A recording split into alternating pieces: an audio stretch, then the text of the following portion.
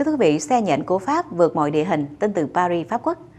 Swincar có khả năng vượt mọi địa hình từ leo núi, đi rừng, băng qua những cánh đồng hay bãi biển mà không gặp nhiều khó khăn với bốn bánh di chuyển như bốn chân nhện mang lại khả năng vượt mọi địa hình với hệ thống treo đặc biệt. Swincar là tên gọi của chiếc xe hơi cực kỳ độc đáo này. Tuy nhiên, vì nó có khả năng di chuyển như loài nhện nên chữ Spider được gắn kèm để thể hiện tính năng siêu việt của Swincar.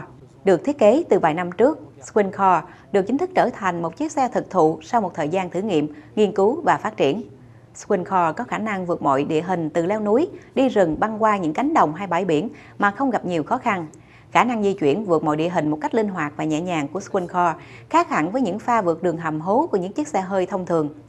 Swincar có cấu tạo, hệ thống treo độc lập cho từng bánh, cho phép mỗi bánh xe có thể đặt ở vị trí tiện lợi nhất và khiến chiếc xe di chuyển.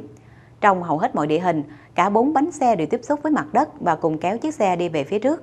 Vị trí ngồi lái thoạt nhìn khá sát với mặt đất để hạ trọng tâm và tránh lật xe, khiến người ta cảm tưởng chiếc xe sẽ không thể trèo đèo lội suối được. Nhưng với kết cấu bốn bánh như trên, Swincar có thể vượt địa hình linh hoạt mà gầm vẫn được đặt ở vị trí cách mặt đất. Hiện tại Swincar vẫn đang tìm kiếm đối tác, nhà đầu tư và cả nhà phân phối để chiếc xe này có thể trở thành một sản phẩm thương mại.